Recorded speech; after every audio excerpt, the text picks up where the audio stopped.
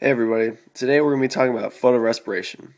So, what is photorespiration? It is an oxidation reaction in which O2 is taken up, leading to the breakdown in CO2. It is a competing pathway with photosynthesis and it leads to a net energy loss. What leads to an increase in photorespiration? When the concentration of O2 is greater than CO2 and at higher temperatures. So, what do plants do to, to decrease photorespiration? Well, plants have two adaptations C4 photosynthesis and CAM photosynthesis that they have derived to deal with this. The first of those two we're, talk, we're going to talk about is C4 photosynthesis. C4 photosynthesis is an adaptation to reduce photorespiration in hot environments. It is a spatial separation of where CO2 uptake and processing occurs. So here in my diagram, I try to explain it.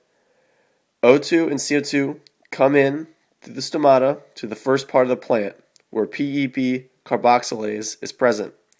PEP carboxylase can only bind to CO2 and it transports it to the second part of the plant where rubisco is present, leaving O2 in the first part of the plant. Now, rubisco is an enzyme that catalyzes photorespiration and photosynthesis. Since only CO2 is present in this part of the plant, rubisco uh, follows photosynthesis pathway and produces sugar, which is good for the plant. All right. The last adaptation I'll be talking about today is CAM photosynthesis. It's an adaptation to reduce H2O loss in dry environments. It is a temporal separation of where CO2 uptake and processing occurs.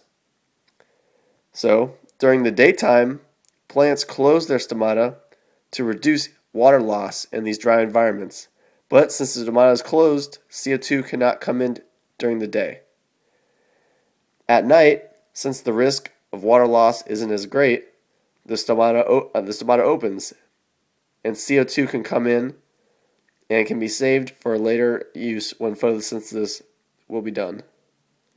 And that's all for today.